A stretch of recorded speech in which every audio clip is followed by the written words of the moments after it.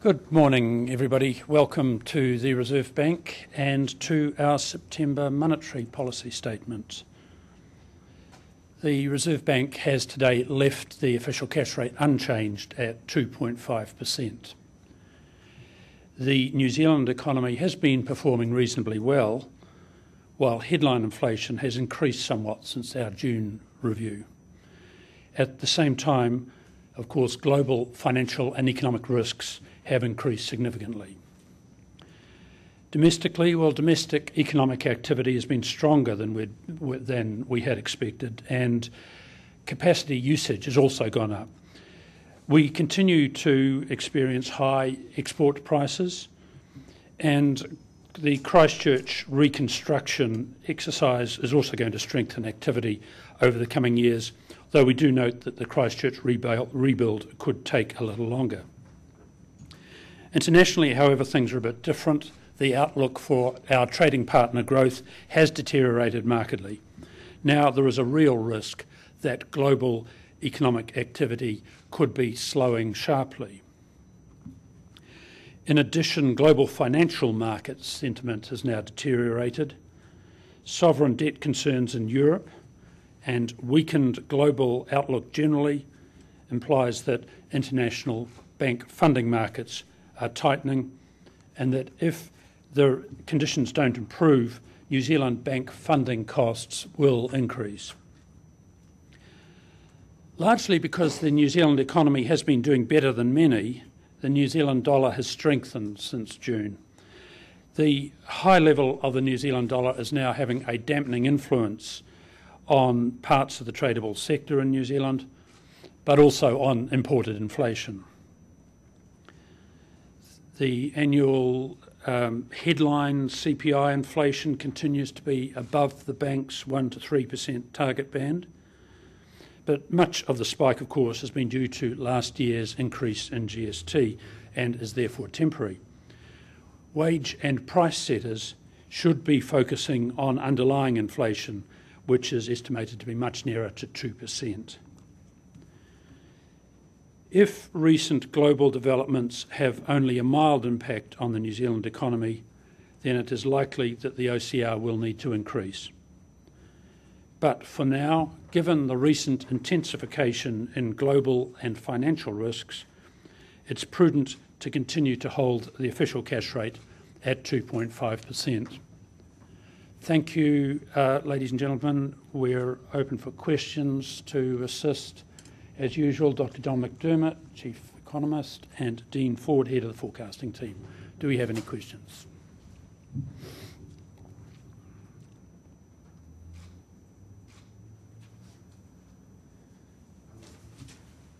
How likely is it that um, global developments will only have a mild impact on the New Zealand economy? You say there is a real risk. Well, so far they haven't had a real impact on the New Zealand economy, so it's something we're, it's a potential that we're looking at. Um, if we were to see problems, they could manifest themselves uh, more obviously through financial market contagion to financial markets being less willing to fund Australasian banks. We're not seeing that particularly at the minute. It's something for the future to keep looking at. Uh, if it were to go deeper, then it would start to feed into broader trading partner economic growth, and we don't want to see a situation where a slowdown in Europe leads to a slowdown in East Asian growth, because that clearly would impact New Zealand.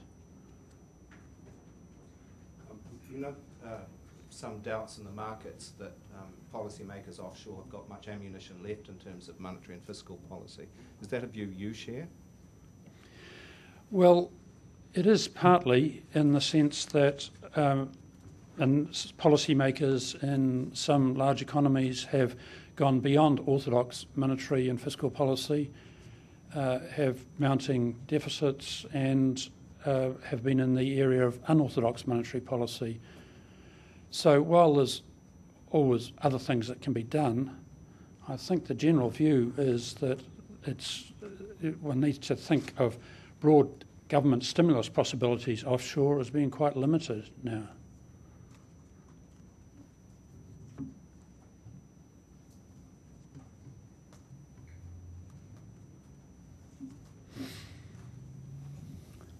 Um, you mentioned uh, that banks' funding costs have gone up, but that's not yet a problem because banks aren't in the markets.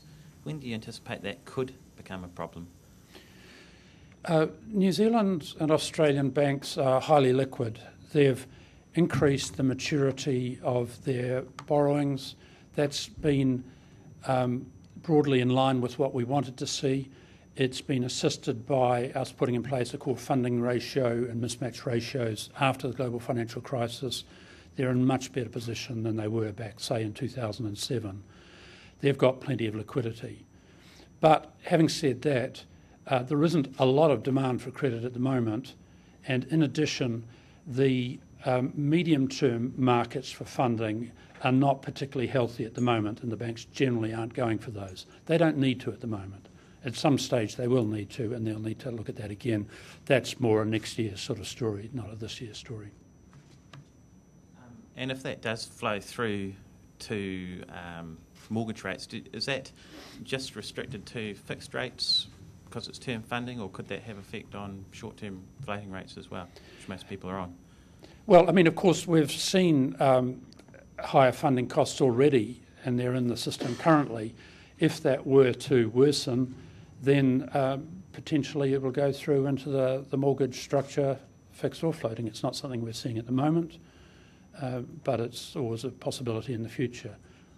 I mean, of course, we've got the, the normal range of monetary policy instruments to deal with that if we wish to. You're talking about the uh, possible increase in the OCR. Are you talking this year or longer term? Well, uh, we've been reviewing that all the way through this year. Last uh, June, we came out with a statement that said we feel that the OCR does need to increase, but it wasn't the right time to do it in view of international financial volatility.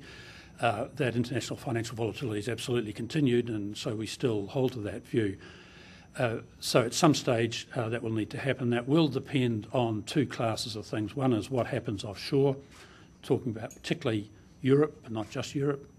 And secondly, were we to see any um, growing um, evidence that headline current high levels of headline inflation were feeding into expectations, feeding into prices and wages uh, more directly, then we'd take that a bit more seriously as well. At the minute, we think that uh, those are their high headline numbers, but they're not really changing behaviours in New Zealand. That's pretty important. Of course, um, right at the moment, uh, we're just entering the period when uh, the headline numbers will come off a lot because the GST effects come out of the CPI. You won't see that formally until, I guess, early next year. But actually, over the coming quarter, we expect very little new inflation to come into the system what impact is the Rugby World Cup having on that?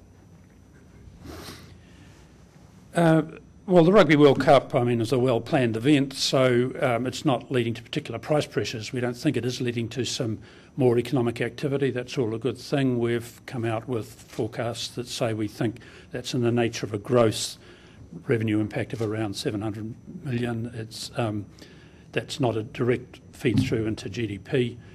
Uh, so I don't think we're seeing any surprises there. Of course, uh, your colleagues in the media have been very up and down on ticket sales and, and visitor arrivals, but turns out, looks like the rugby union were roughly right on that, Barry, and it looks like the budgets are roughly going to be met. So we're not seeing big surprises there. Um, forecasts don't assume much relief on the interest rate front. Is there anything you can do about that? Sorry, much relief, meaning? Uh, sorry, on the exchange rate uh, front. Uh. Well, I mean, we continue to be in the situation where the exchange rate in New Zealand is quite a difficult feature. It's, we now believe, significantly penalising some activity in the traded sector, hurting some New Zealand firms, and that's a sort of a medium term effect, not a short term effect.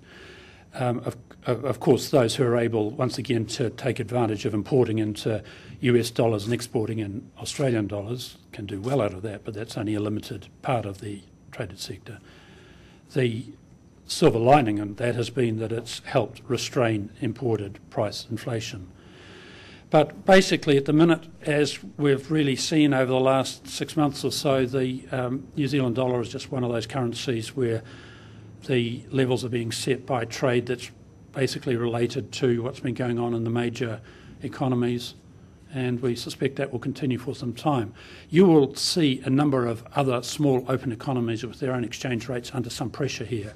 You'll be observing that a number of them have been looking at other tools, most recently, of course, the Swiss National Bank looking at trying to peg the Swiss franc. We will watch that with considerable interest as to how successful that might be.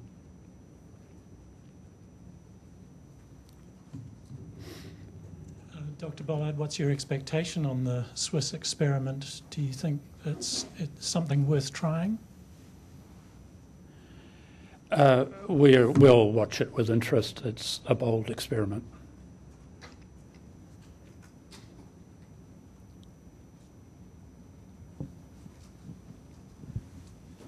Uh, Dr. Bollard, um, the forecasts for non tradable inflation show it remaining significantly higher than tradable inflation.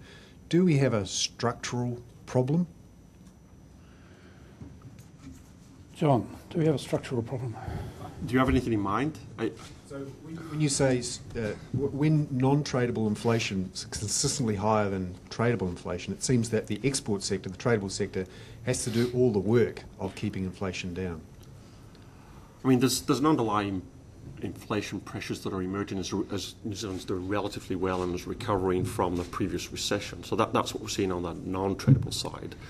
We're probably seeing uh, tradable inflation being lower than otherwise would be the case because we have a higher currency. It's just a simple case that imported costs are cheap.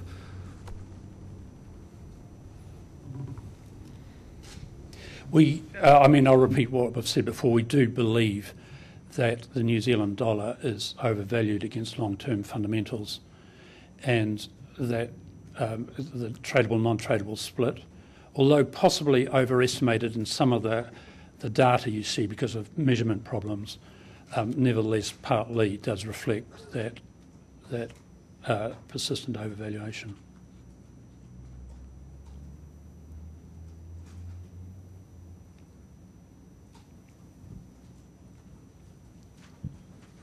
Uh, how would you feel if uh, the banks uh, were, uh, over time, to say our funding costs have increased because of the international financial crisis, and therefore we're going to increase our mortgage rates, even though you haven't increased the official cash rate? Well, if that's happening as a result of market forces and is indeed reflecting um, true increase in the cost of funds, then that, in our view, it's up to the banks to make their own judgments about where they set mortgage rates. We, of course, um, can react to that in terms of future uh, settings on the official cash rate, but no expectations, particularly of that at the moment. Dr. Bollard, I'm just kind of curious, where does uh, global turmoil, where does it stop being a mild impact and turn into a severe impact? What's, what's the sort of thinking around there? Uh, well, from our point of view, it stops being a mild impact and turns into a severe impact if we were to see uh, funding markets uh, that Australasian banks go to for funding start to jam up.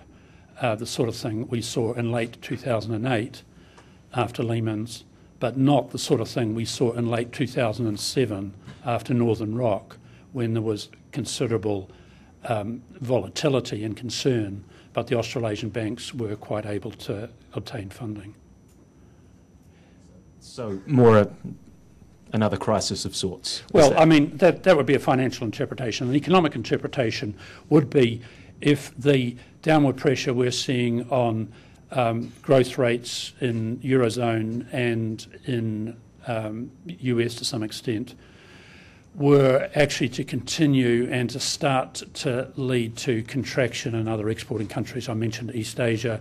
East Asia hasn't been decoupled from all of this, but generally they've handled that pretty well so far. And Australia and New Zealand are quite dependent.